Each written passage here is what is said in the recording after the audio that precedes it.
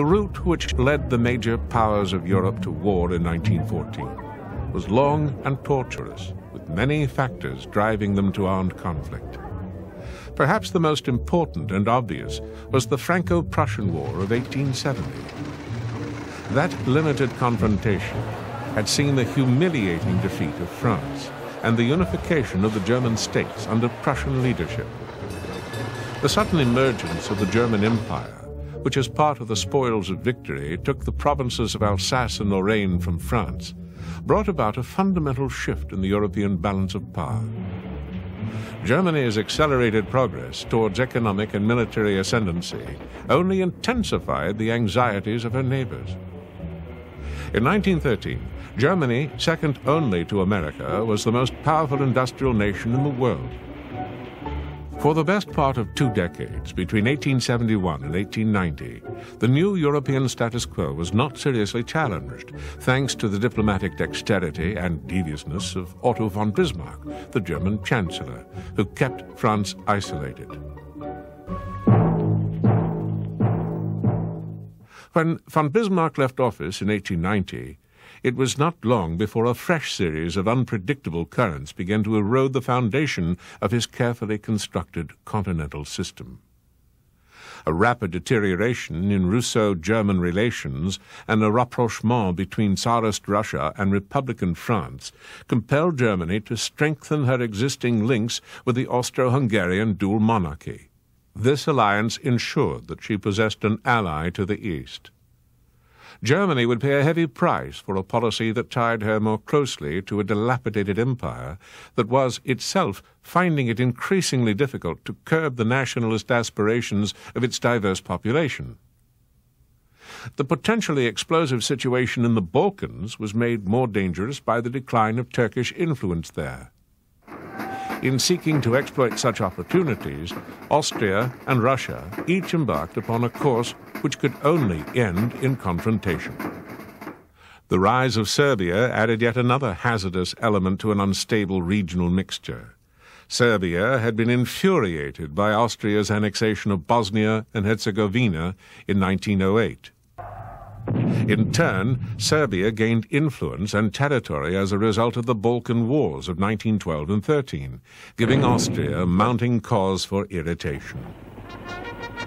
With the departure of Bismarck, the belligerent and erratic Wilhelm II, who had become Kaiser in 1888, soon spurred Germany to follow a more aggressive path in international relationships. France, already determined to avenge the disaster of 1870 and win back her lost provinces, was further alarmed by Germany's developing industrial and military muscle. Russia, too, had grounds for concern about the Austro-German alliance that not only threw an ominous shadow along her western frontier, but was likely to counteract Russian interests in the Balkans. The first and probably the most significant crack in the edifice erected by Bismarckian diplomacy came in 1892, the removal of its cornerstone, the isolation of France. That year, Russia and France concluded a military agreement reinforced by additional talks in 1893 and 94, under which each promised to come to the other's aid if either were attacked by Germany. This change from Bismarck's Realpolitik to the Weltpolitik of Kaiser Wilhelm II ultimately forced Britain to review her relations with the other leading players on the European and world stage. Britain was relatively friendly with Germany for much of the last quarter of the 19th century, not the least because Queen Victoria's eldest daughter was married to the German Crown Prince Frederick, who succeeded to the imperial throne in March 1888. Frederick died of cancer after reigning for barely three months, and the accession of his estranged son Wilhelm II heralded fresh competition with Britain for colonies and overseas markets, as the new Kaiser sought world power status for Germany. His first public words as Kaiser were not to the public, but was addressed to his armies. We belong to each other, I and the army. We were born for each other and will indissolubly cleave to each other. I promise ever to bear in mind that from the world above, the eyes of my forefathers look down on me. and that I shall one day have to stand accountable to them for the glory and honor of the army.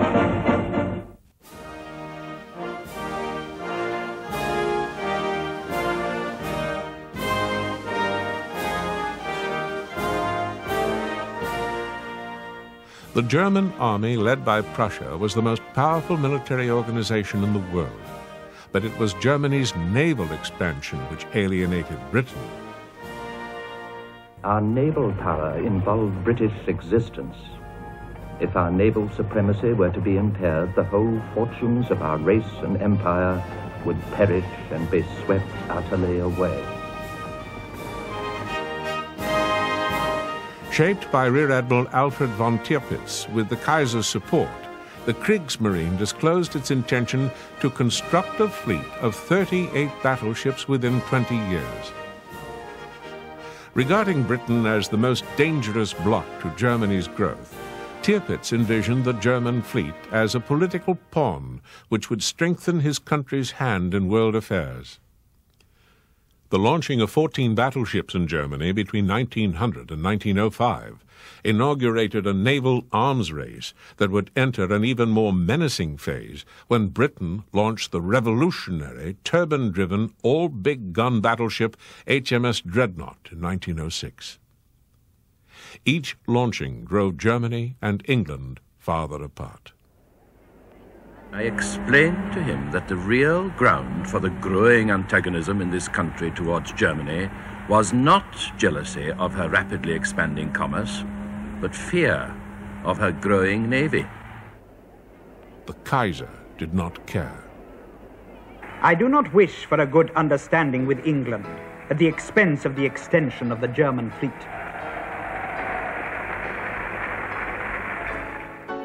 German backing for the Boers during the South African War of 1899 to 1902 hastened the demise of Britain's earlier isolationist policy. In 1904, Britain signed the Entente Cordiale, which greatly strengthened the diplomatic and military tie with her traditional rival, France. A similar understanding was reached with Russia in 1907. Thus, before the close of the 19th century, Britain had swung noticeably toward a Franco Russian alliance. The understandings with France and Russia did not constitute formal agreements, and neither did they commit Britain irrevocably to go to war in support of either power, but she was morally bound to France and Russia against the Central Powers.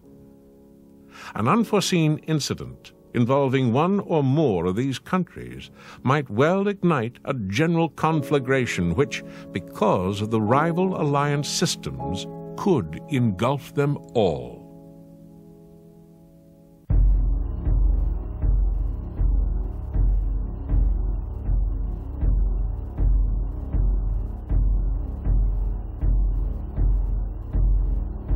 Sunday, June 28, 1914. Early in the morning, Archduke Franz Ferdinand and his consort, Sophie, prayed at Mass in a chapel set up for them at their hotel. Leaving the suburban spa, they boarded a train to Sarajevo, a trip of less than half an hour.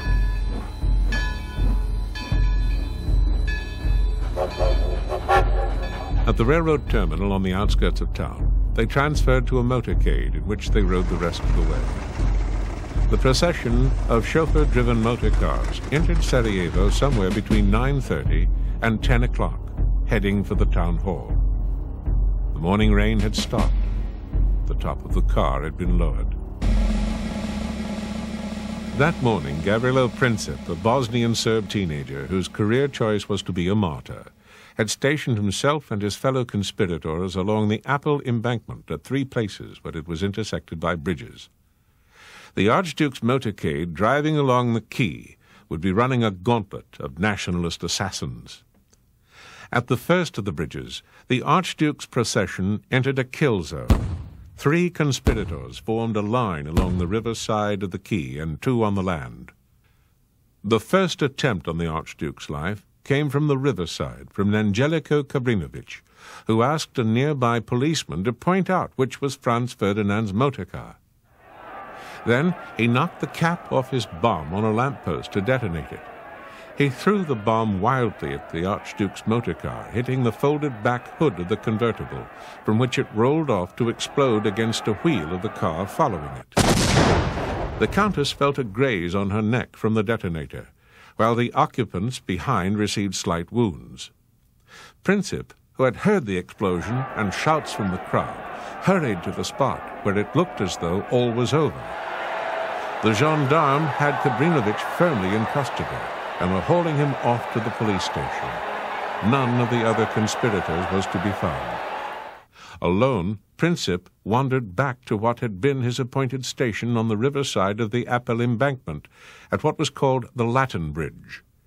He then crossed the street. Of the others, one was so jammed in the crowd that he could not pull the bomb out of his pocket. A second saw a policeman standing near him and decided that any movement would be too risky. A third felt sorry for the Archduke's wife and did nothing. A fourth lost his nerve and slipped home.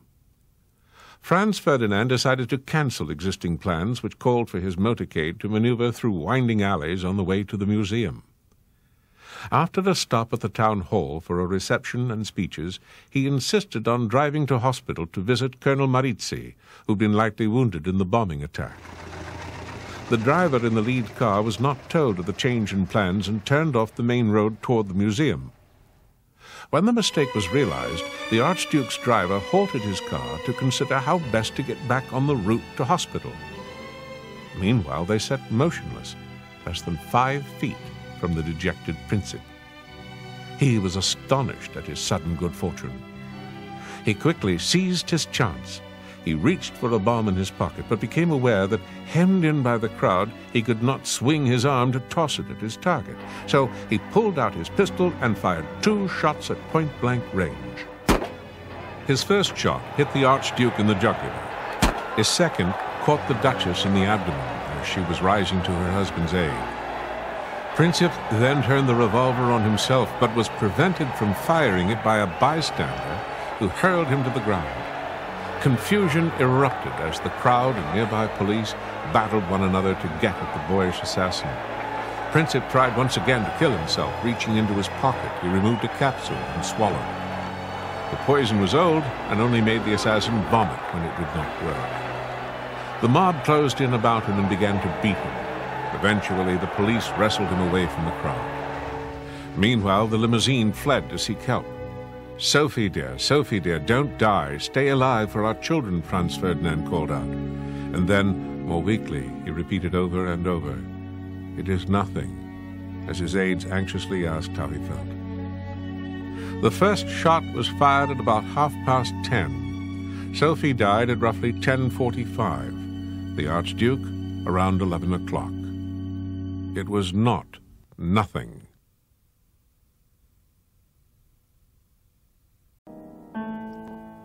Had the murders in Sarajevo been committed even a century earlier, it would have taken weeks or months for word of it to reach faraway places. The consequences might have been far different, but technology had changed all that. The foreign officers of the world knew of the shooting at once. In Germany, the Kaiser was informed while racing in a regatta aboard his yacht, Meteor. Wilhelm decided to return to Berlin. In England, the outrage, as the assassinations were called, dominated the foreign reporting published in the morning's London Times. In France, at the first cabinet meeting since the assassinations, the killings were hardly mentioned. Indeed, in all the capitals of Europe, the reaction to the assassination of the heir to the Habsburg throne was calm to the point of indifference. The truth of the matter was that few in Austria Hungary were sorry that Franz Ferdinand had been removed from the scene. True, the leaders of the dual monarchy deplored the killing of royalty, but if someone of the blood had to be sacrificed, the Archduke was everybody's choice to be the one. Of course, the heir apparent was next only to the emperor, the most important figure in the Habsburg Empire. In murdering him, upstart Serbian terrorists threw down a public challenge to the very existence of the empire. If Vienna failed to respond, it would lose by default. But that was not the reason that the dual monarchy sought to destroy Serbia. The Habsburgs wanted to destroy Serbia before the assassination. The killings gave Vienna an excuse, not the reason, for snuffing out Serbia's challenge to Austro Hungarian authority in the Balkans.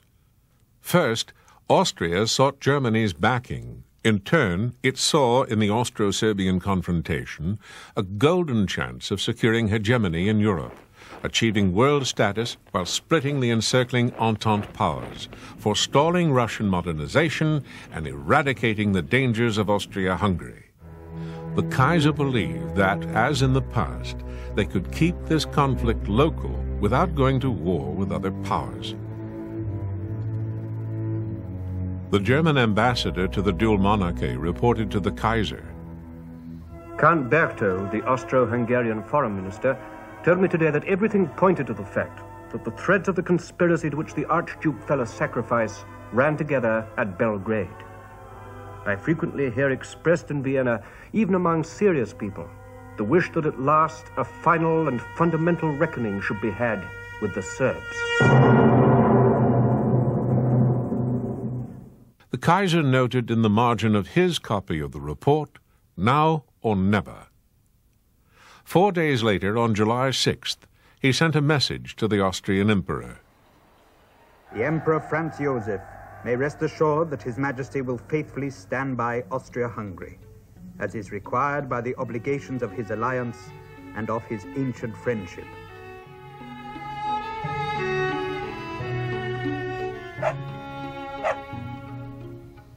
And with that, on the same day, the Kaiser went back on a summer cruise on the royal yacht in Scandinavian waters. As Europe continued its perfect summer vacation, Austria went off to cash Germany's blank check for unconditional support against Serbia. Having obtained Germany's endorsement 25 days after the Archduke's assassination, Austria issued a 10 point ultimatum to Serbia.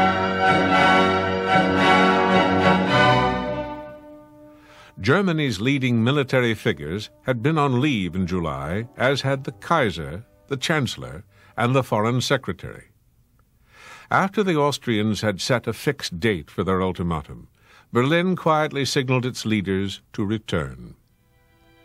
They did so from July 23rd onward, returning singly so as not to create an uproar. Then they began to debate what to do next. Germany's overlapping army leaders, Chief of Staff von Moltke, War Minister von Falkenhayn, and Military Cabinet Chief von Lyncker were among the several key officials debating the issues of war and peace after the return from vacation. For Moltke, the arguments were particularly frustrating, in part because civilian leaders shared neither his point of view nor his objectives, and in part because they did not know what he knew.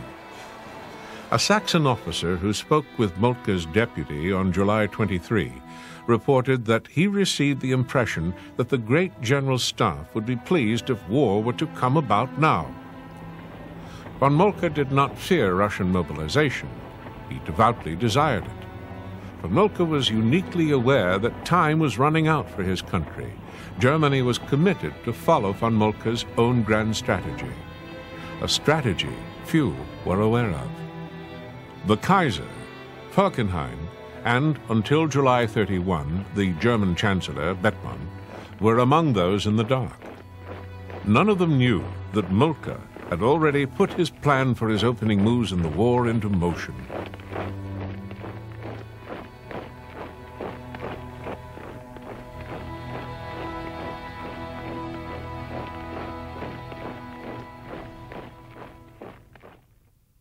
On 25 July, Serbia accepted nine of the points, but rejected in part the demand that Austrian officials be involved in the investigation of the assassination, regarding such interference as a challenge to its sovereignty. On 25 July, Serbia also mobilized her army. Russia, too, confirmed partial mobilization before entering a period preparatory to war on 26 July. Austria reciprocated by mobilizing the same day. Then, on 28 July, the dual monarchy declared war on Serbia. Now, up to this point, it might still have been possible to isolate the problem, but Germany continued to act in an uncompromising manner to heighten tensions and gave the crisis an international dimension. On 29 July, Germany demanded an immediate cessation of Russian preparations. Failing to do so would mean that Germany would mobilize her army. The German Imperial Chancellor Theobald von Bethmann Hollweg instructed the ambassador in St. Petersburg. Kindly call attention to the fact that further confirmation of Russia's mobilization measures would force us to mobilize. And in that case, a European war could scarcely be prevented. Russia could not afford to acquiesce meekly on the destruction of Serbian sovereignty or increased Austrian influence in Eastern and Southeastern Europe. Consequently, on 30 July, Russia ordered a general mobilization in support of Serbia. Russian mobilization began the following day, but was not the inevitable precursor to war. Her forces could, if necessary, have stayed on their own territory for weeks while negotiations proceeded. The actions of Germany heightened the tension. At 1.45 p.m. on 31 July, Germany proclaims a Kriegsgefahrzustand, or threatening danger of war. 3.30 p.m., the German government addresses Russia and France. Germany presents Russia with an ultimatum. Unless she demobilizes within 12 hours, full mobilization in Germany will follow. The German ambassador in Paris is told mobilization means war. France is asked for guarantees of neutrality events were rapidly moving out of control. When Russia failed to respond, Germany ordered a general mobilization. Time was running out. Mobilization in each country was the moment when a war plan took effect. Nowhere was this clearer than in Germany, since Germany had become a prisoner of her own plan. The Schlieffen Plan had been originally shaped in 1897 and revised in 1905 by Count Alfred von Schlieffen, then chief of the German General Staff.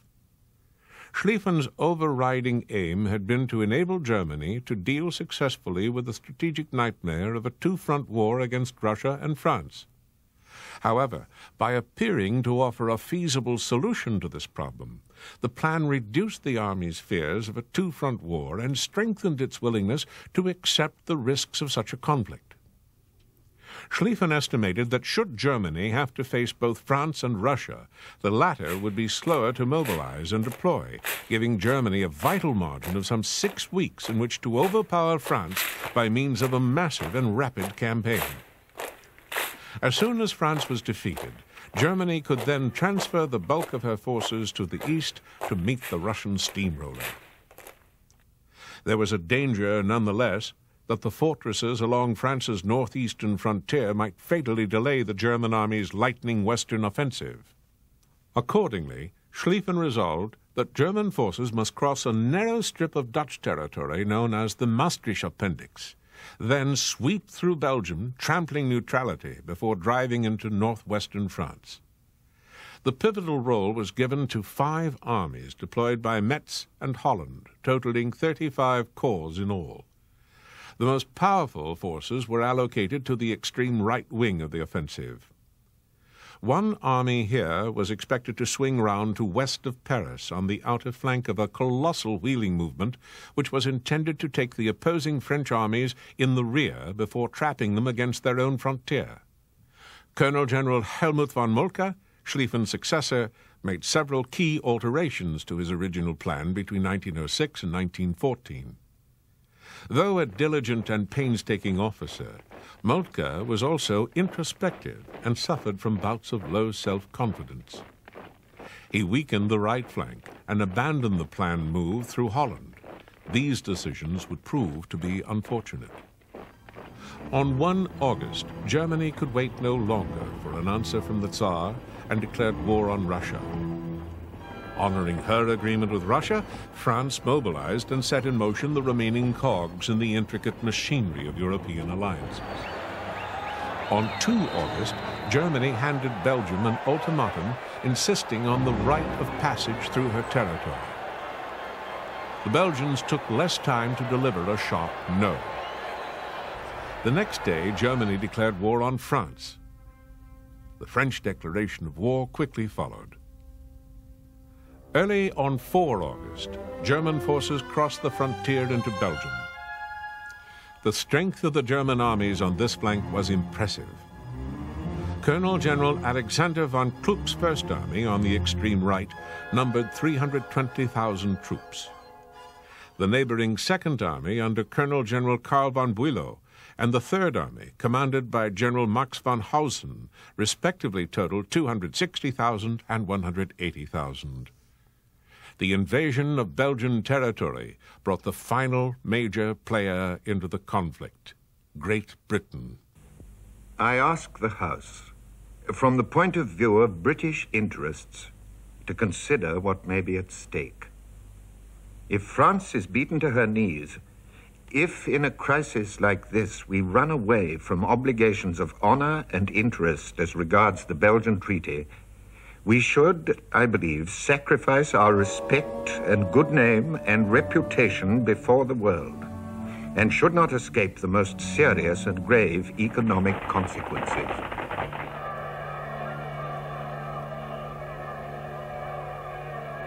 God grant we may not have a European war thrust upon us. And for such a stupid reason, too. No, I don't mean stupid.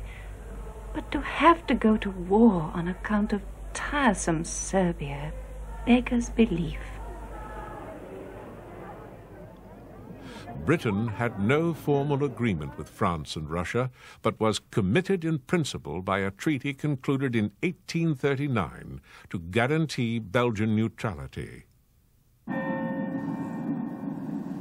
The hour had struck. At 11 p.m. on 4 August, time ran out for the last summer of the Old World.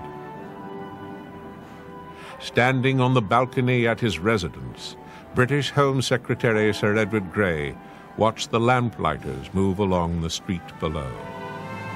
The lamps are going out all over Europe. We shall not see them lit again in our lifetime.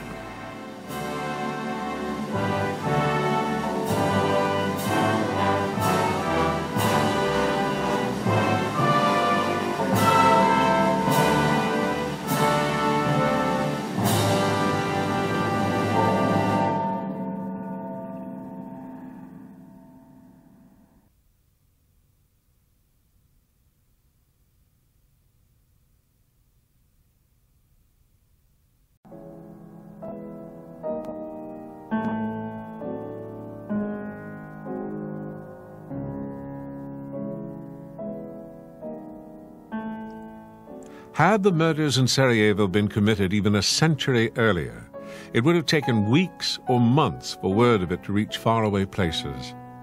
The consequences might have been far different, but technology had changed all that. The foreign officers of the world knew of the shooting at once. In Germany, the Kaiser was informed while racing in a regatta aboard his yacht, Meteor. Wilhelm decided to return to Berlin. In England, the outrage, as the assassinations were called, dominated the foreign reporting published in the morning's London Times. In France, at the first cabinet meeting since the assassinations, the killings were hardly mentioned. Indeed, in all the capitals of Europe, the reaction to the assassination of the heir to the Habsburg throne was calm to the point of indifference. The truth of the matter was that few in Austria Hungary were sorry that Franz Ferdinand had been removed from the scene. True, the leaders of the dual monarchy deplored the killing of royalty, but if someone of the blood had to be sacrificed, the Archduke was everybody's choice to be the one. Of course, the heir apparent was next only to the Emperor, the most important figure in the Habsburg Empire. In murdering him, upstart Serbian terrorists threw down a public challenge to the very existence of the empire. If Vienna failed to respond, it would lose by default. But that was not the reason that the dual monarchy sought to destroy Serbia. The Habsburgs wanted to destroy Serbia before the assassination. The killings gave Vienna an excuse, not the reason, for snuffing out Serbia's challenge to Austro Hungarian authority in the Balkans. First, Austria sought Germany's backing. In turn, it saw in the Austro Serbian confrontation a golden chance of securing hegemony in Europe achieving world status while splitting the encircling Entente powers, forestalling Russian modernization, and eradicating the dangers of Austria Hungary. The Kaiser believed that, as in the past, they could keep this conflict local without going to war with other powers. The German ambassador to the dual monarchy reported to the Kaiser.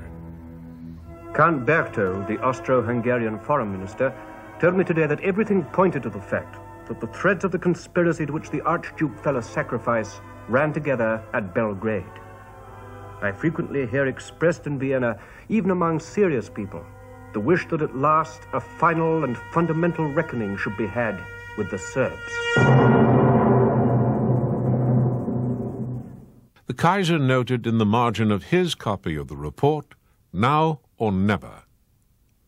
Four days later, on July 6th, he sent a message to the Austrian Emperor. The Emperor Franz Joseph may rest assured that His Majesty will faithfully stand by Austria-Hungary, as is required by the obligations of his alliance and of his ancient friendship.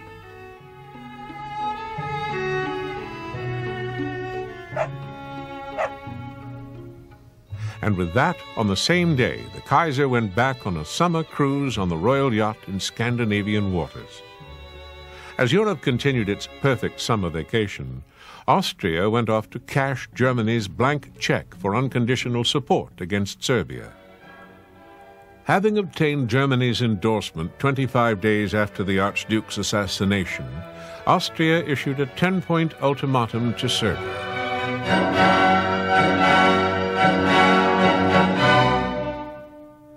Germany's leading military figures had been on leave in July, as had the Kaiser, the Chancellor, and the Foreign Secretary. After the Austrians had set a fixed date for their ultimatum, Berlin quietly signaled its leaders to return. They did so from July 23rd onward, returning singly so as not to create an uproar. Then they began to debate what to do next. Germany's overlapping army leaders, Chief of Staff von Moltke, War Minister von Falkenhayn, and Military Cabinet Chief von Lyncker were among the several key officials debating the issues of war and peace after the return from vacation. For Moltke, the arguments were particularly frustrating, in part because civilian leaders shared neither his point of view nor his objectives, and in part because they did not know what he knew. A Saxon officer who spoke with Moltke's deputy on July 23 reported that he received the impression that the great general staff would be pleased if war were to come about now. Von Moltke did not fear Russian mobilization. He devoutly desired it. Von Moltke was uniquely aware that time was running out for his country. Germany was committed to follow von Moltke's own grand strategy, a strategy few were aware of. The Kaiser, Falkenhayn, and until July 31, the German Chancellor, Bethmann, were among those in the dark. None of them knew that Moltke had already put his plan for his opening moves in the war into motion.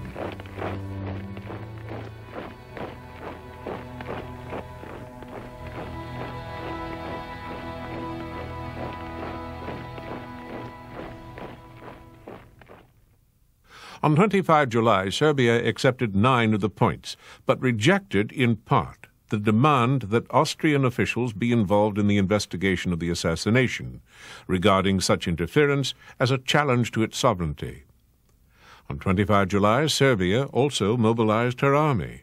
Russia, too, confirmed partial mobilization before entering a period preparatory to war on 26 July. Austria reciprocated by mobilizing the same day. Then, on 28 July, the dual monarchy declared war on Serbia. Now, up to this point, it might still have been possible to isolate the problem, but Germany continued to act in an uncompromising manner to heighten tensions and gave the crisis an international dimension. On 29 July, Germany demanded an immediate cessation of Russian preparations. Failing to do so would mean that Germany would mobilize her army. The German Imperial Chancellor, Theobald von Bethmann Hollweg, instructed the ambassador in St. Petersburg. Kindly call attention to the fact that further confirmation of Russia's mobilization measures would force us to mobilize. And in that case, a European war could scarcely be prevented.